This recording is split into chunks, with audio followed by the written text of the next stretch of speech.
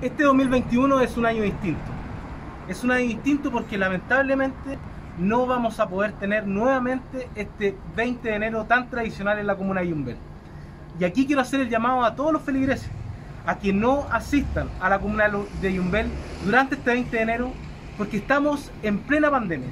La comuna de Yumbel durante estos 8 meses de pandemia ha tenido un alza importante en los casos activos de COVID-19. Y creemos y estamos convencidos que si esta festividad se desarrollara de forma normal, este número de casos iría al alza.